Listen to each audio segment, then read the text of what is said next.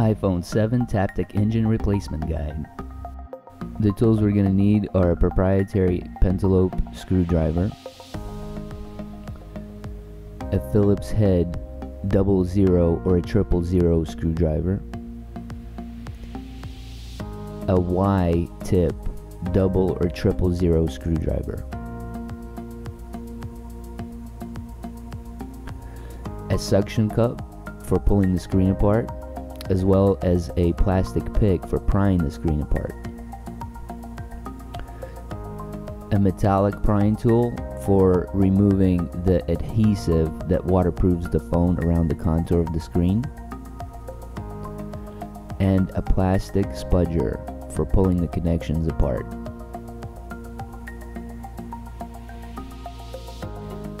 Make sure to turn off the iPhone before we begin.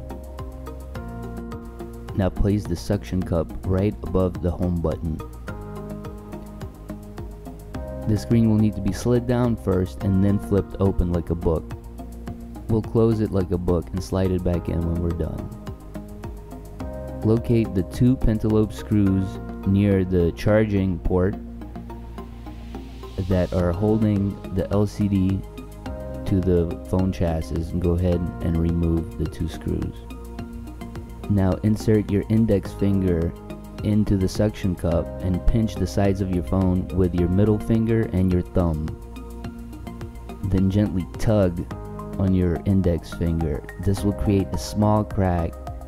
Now a little to the left of the home button, go ahead and slide in the plastic pick and start prying it apart.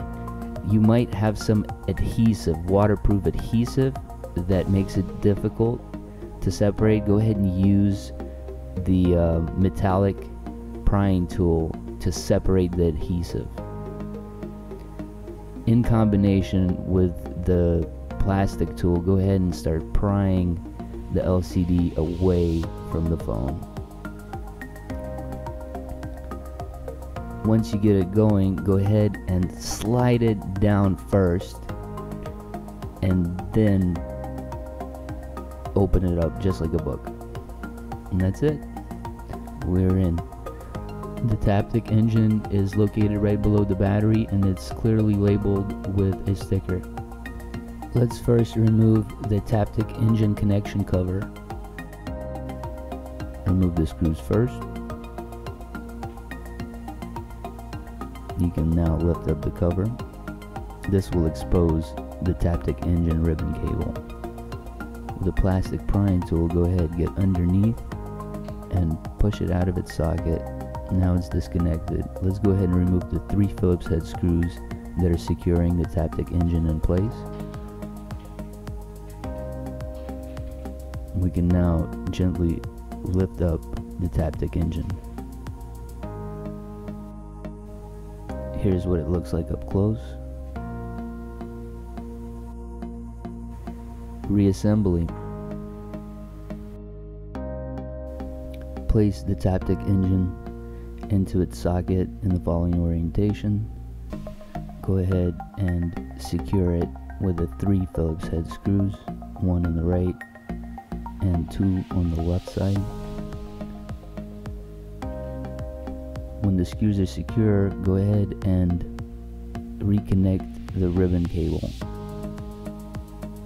Make sure it's firmly clicked in.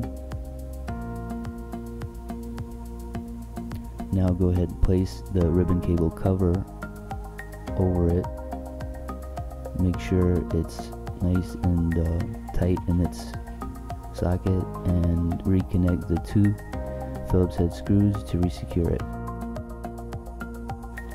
Okay, we're now ready to clamp up the phone.